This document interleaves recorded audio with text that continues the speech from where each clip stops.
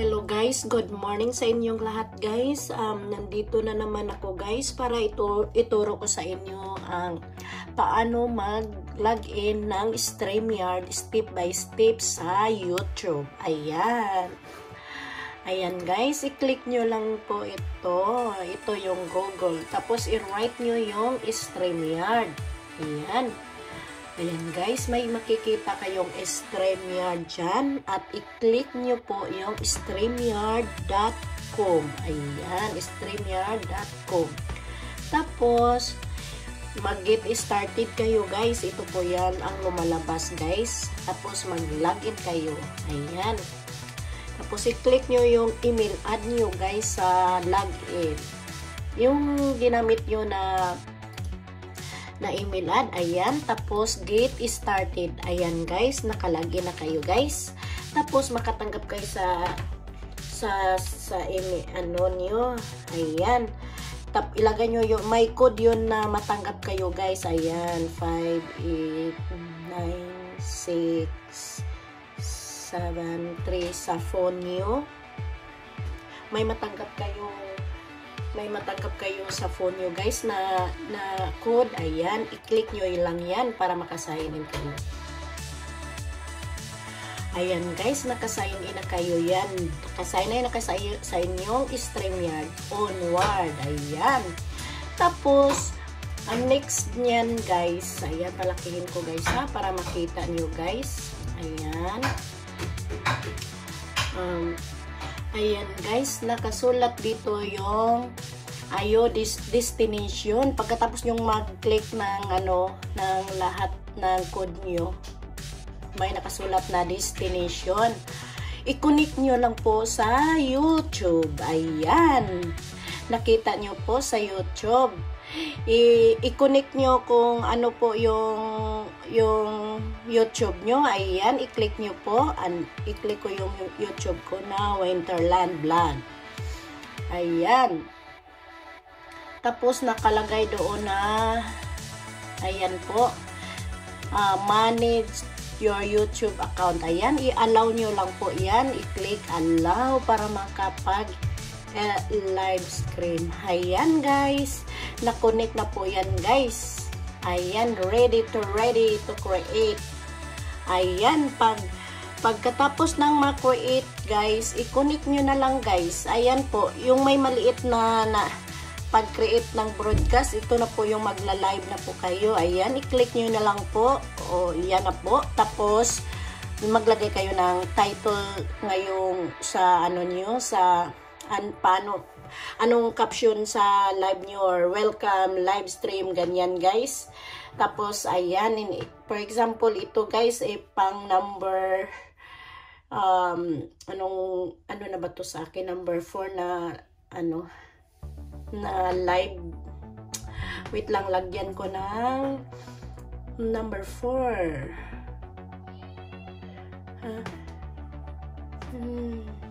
Ayan guys, yung sinulat ko sa broadcast to caption ko guys, uh, number 4 number 4 live stream. Ayan, welcome people. Ayan, ito yung nakasulat ko.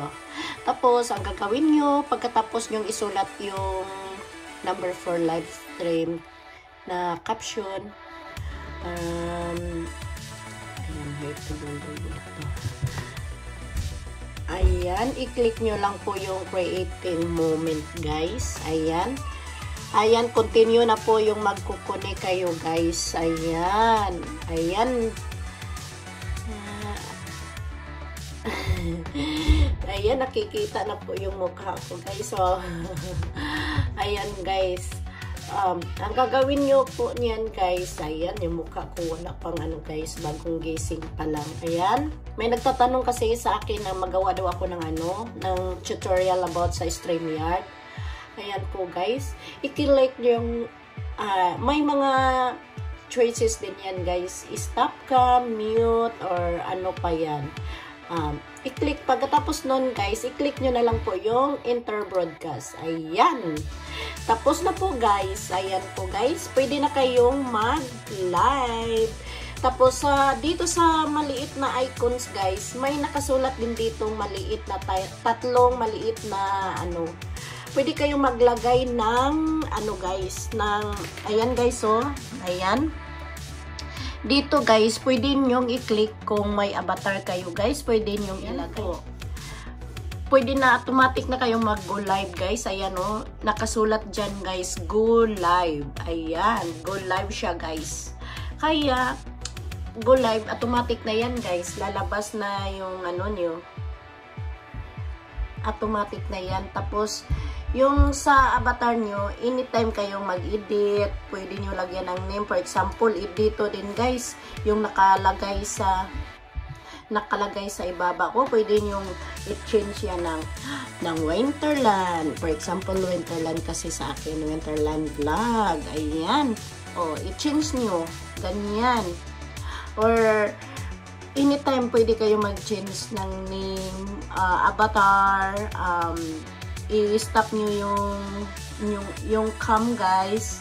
Like, i-change nyo o pwedeng pwede, pwede yung isolo lay, layout. Ayan. Nakita nyo yan guys. Kaya pwede na kayo mag-start ng live. Connect na yan sa ano, ito na po yon ng Go Live. Ayan guys. Tapos na. Sana na, natulungan ko kayo guys. Pwede din kayo dito sa, sa giliran guys. Maraming choices sa mga banners, sa mga brand Ayan, pwede kayo mag-layout dyan kung anong gusto niyo sa background. Kung may papasok din sa inyo na mag-invite ng friend, dito lang guys. Ayan, dito lang. Kung may i-invite kayong friend, dito i-click nyo yung invite friend dito. Ilagay nyo, ma, pa, sa go, ano yan, sa comment, ilagay nyo sa comment para may papasok na mga kaibigan sa inyo.